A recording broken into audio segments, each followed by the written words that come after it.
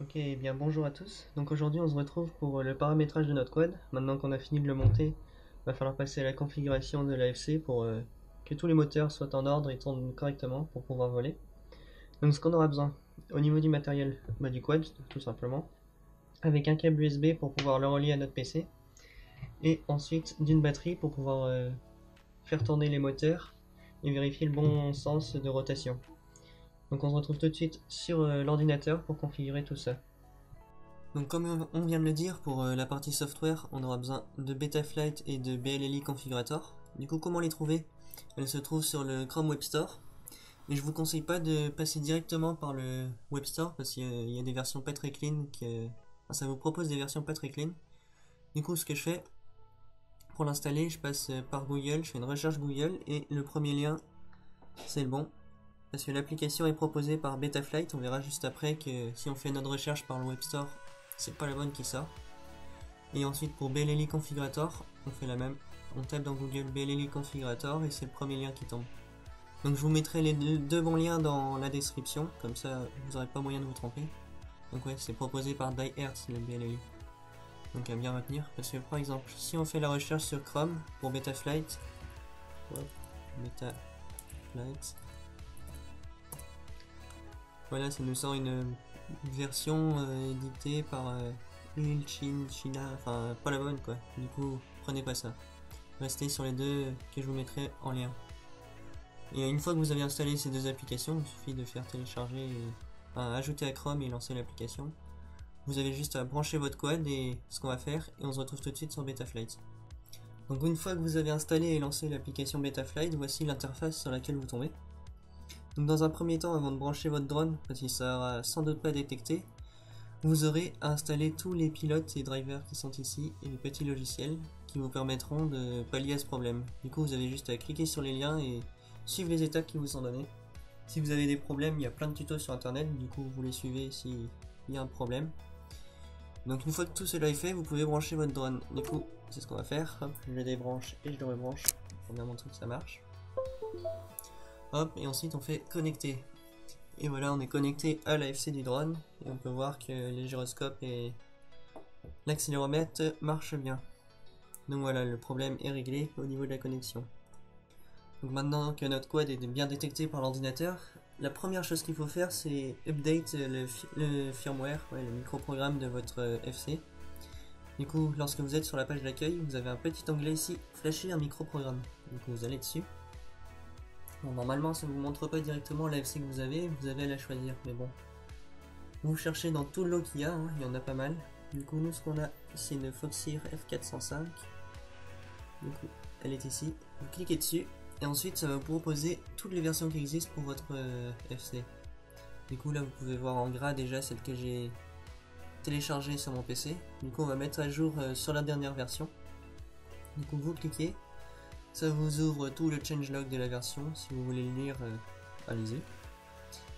Et si vous l'avez pas, vous téléchargez en ligne ici la version. Ça vous la met automatiquement sur votre PC. Et après, vous avez juste à flasher le microprogramme.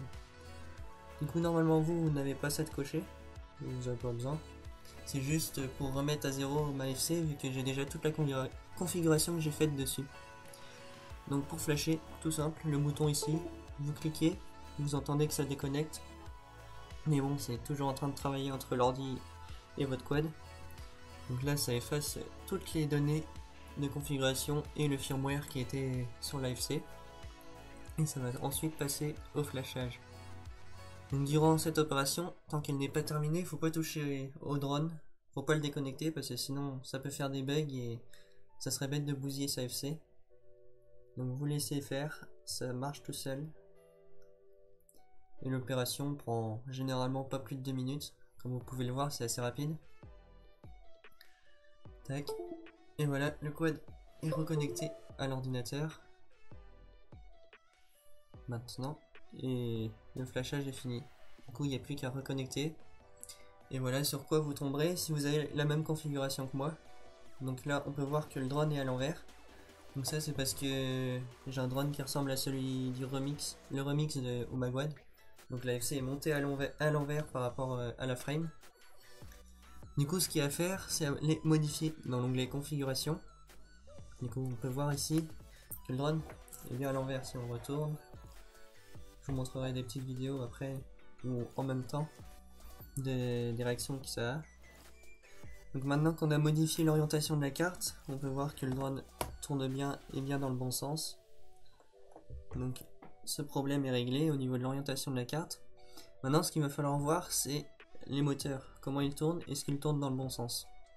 Du coup ce qu'on va faire c'est d'abord déconnecter le drone de Betaflight et un USB. Et on vient donc brancher la batterie.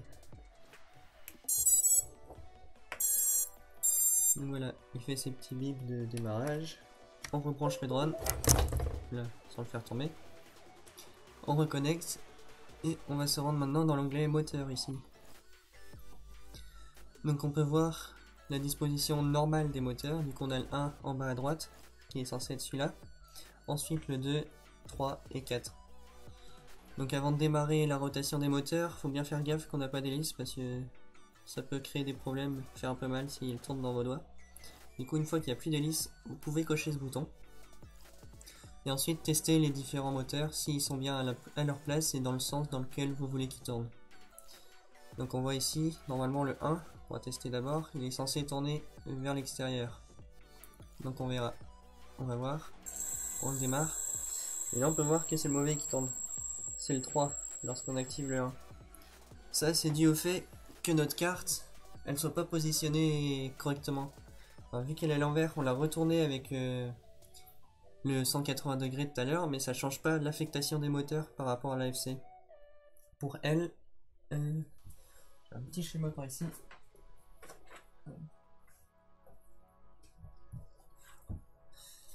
Tac. Donc si on prend un schéma, là vous avez le schéma du drone, de la frame, avec les moteurs. Notre FC, elle était là. Pour elle, le moteur 1, il est en bas à droite, on peut voir ici ce qu'on a fait, elle a été retournée comme ça. Du coup maintenant, le moteur 1 se retrouve à la place du 3, le 3 au 1, enfin c'est inversé dans cet ordre-là. Du coup ce qu'il va falloir faire avec le CLI, le CLI c'est quoi? C'est les petites lignes de commande ici. Ça va être d'inverser euh, le sens de nos moteurs. Enfin, l'affectation de la variable. Tac, donc on se rend dans le CLI. On fait ressources. Et là, ça va nous afficher toutes les ressources qui sont attribuées à tous les paramètres que peut et machin que rechérir la carte, enfin les LED, les moteurs, tout ça, la connexion radio. Et bref, nous ce qui nous intéresse, c'est les quatre moteurs. Du coup, ce qu'il va falloir prendre, c'est cela. Du coup, on copie, on ouvre un bloc-notes et on colle là-dedans. Et on va les recoller pour modifier les valeurs comme on a pu le voir juste avant, vu que la carte est l'AFC est inversée. Du coup, le 1, ça va prendre la valeur du 3. Du coup, bien mettre en majuscule là toutes les valeurs.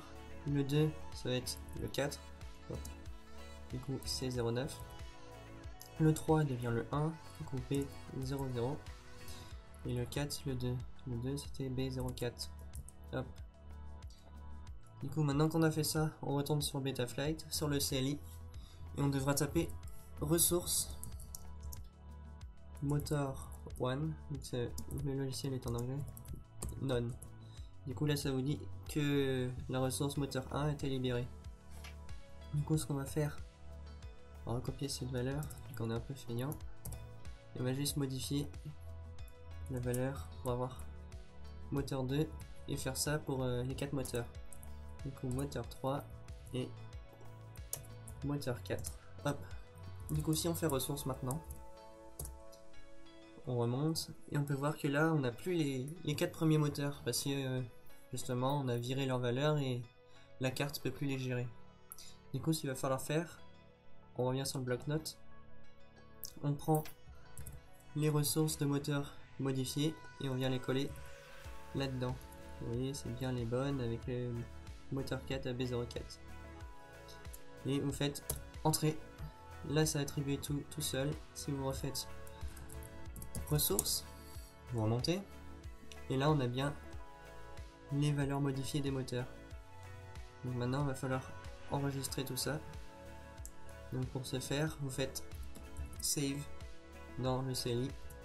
Ça va vous éteindre votre drone, le rallumer. Et on va pouvoir aller tester les moteurs maintenant. Du coup, oui, on n'a pas d'hélice. Moteur 1, c'est celui-là qui devrait tourner. Du coup, on va voir. Ça marche, c'est bien celui-là qui tourne. Du coup, on va tester tous les autres pour voir. Le 2, on avait dit que c'était celui-là. C'est celui-là qui tourne. Le 3, pareil.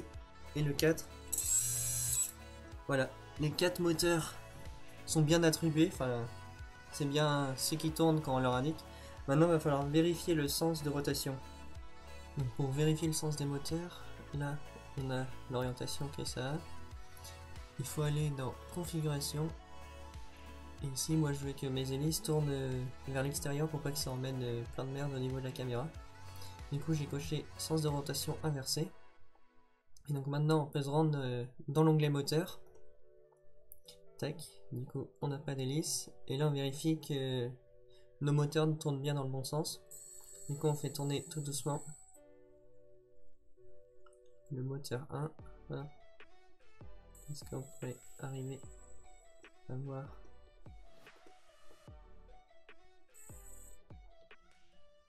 à la limite? Enfin bref faut bien retoucher. On sent que le moteur tourne bien dans le bon sens par rapport au schéma. Donc on va faire la même pour le moteur 2 donc il devrait tourner dans ce sens là et c'est bon. Moteur 3 pareil vers l'extérieur tous Donc là c'est bon. Et moteur 4.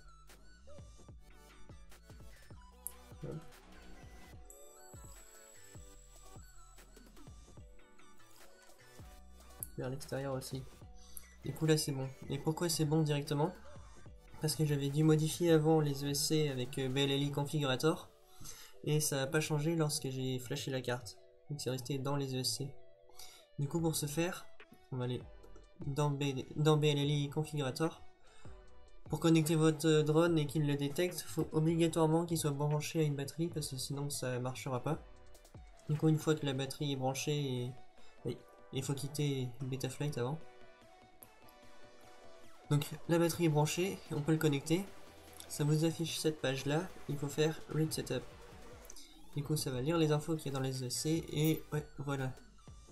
C'est ça qui a on a inversé le sens de rotation des moteurs sur les ESC 2 et 3. Après, ça devait être dépendant de ce qui était à l'envers, mais bon. S'il y en a un qui est à l'envers, par rapport au sens dans lequel il doit tourner, vous sélectionnez là l'ESC et vous changez reverse ou normal. Et ensuite vous faites euh, right setup, ça vous écrit, ça vous réécrit les données dans les ESC et normalement tout tourne correctement dans les bons sens. Donc une fois que ça c'est fait, on peut quitter BLLI si vous avez écrit du setup, il va redémarrer quand même et, et ça sera bon. Du coup, on ferme BLLI, on n'en aura plus besoin maintenant. Et donc, euh, vous revenez à l'onglet moteur pour tester vos moteurs si jamais vous avez fait l'opération avant et qu'il y avait des moteurs qui tournaient dans le mauvais sens. Et après, bah, on est bon là. Donc maintenant que tous les moteurs tournent dans le bon sens, la configuration spécifique à ce modèle, eh bah, elle est terminée. Donc on va se retrouver dans une autre vidéo pour euh, voir la configuration globale, pour euh, paramétrer votre drone pour euh, le premier vol, assigner les modes, tout ça avec la télécommande, la radiocommande. Et bon, on va se laisser sur ça et je vous dis à plus pour une nouvelle vidéo qui va arriver dans pas longtemps. Donc allez, ciao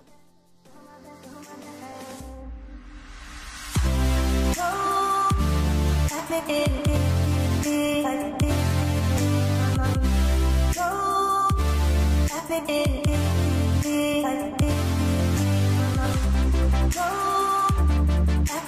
you.